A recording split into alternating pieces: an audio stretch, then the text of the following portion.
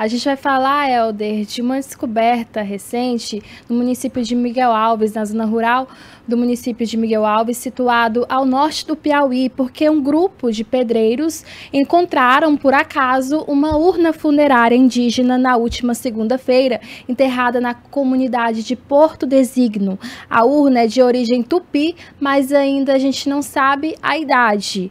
O objeto deve ser estudado por pesquisadores da Universidade Federal do Piauí, que já coletaram esse material encontrado pelos pedreiros. Essa urna é uma gamela de argila com tampa que guardava ossos pe e pedaços de ossos e também algumas ferramentas, como a ponta de um machado, que a gente acabou de exibir na sua tela. Pelas imagens é possível a gente perceber também que havia uma pintura no interior dessa gamela feito a par, feita a partir de óxido de ferro. Esse objeto estava enterrado em uma profundidade de pouco mais de um metro e foi encontrado enquanto os pedreiros cavavam é, um buraco para construir uma pilastra de uma casa. Representantes da Academia de História dos Municípios Oriundos de Campo Maior e pesquisadores da UFP já foram ao local, coletaram é, essa gamela e vão agora pesquisar para descobrir a origem, de fato, se é tupi, já que tendo em vista que já foi confirmada apenas por um grupo de pesquisadores,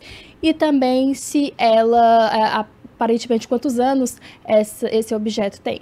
É preciso se verificar também se, essa, se já houve essa paralisação da obra, né? Acredito que sim. Sim, né? o local Porque... foi transformado em sítio arqueológico. Pois é, já. então é preciso haver toda uma investigação. Se eu não me engano, tiveram outras urnas também, Ananda. Eles até quebraram uma, uma ali.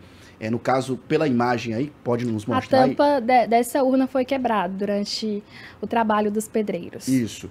E aí é, vai ser feita toda uma investigação, como disse a Nanda, para descobrir a idade dessa urna, não se sabe muito bem, mas é, primeiramente os pesquisadores apontam que possui características é, de, do caso indígenas da, da comunidade tupi, que era que realmente é, sempre esteve aqui no território piauiense, uma comunidade indígena muito forte ao longo dos anos. Provavelmente são ossos humanos, já que essa era a prática naquela época, né? Quando haviam então as mortes, as pessoas eram depositadas nessas urnas. Atualmente a gente faz o quê? Com caixões, né, Ananda? Mas é. antigamente essa era a prática no caso dos indígenas, por isso existe essa conclusão que possa ser da comunidade tupi.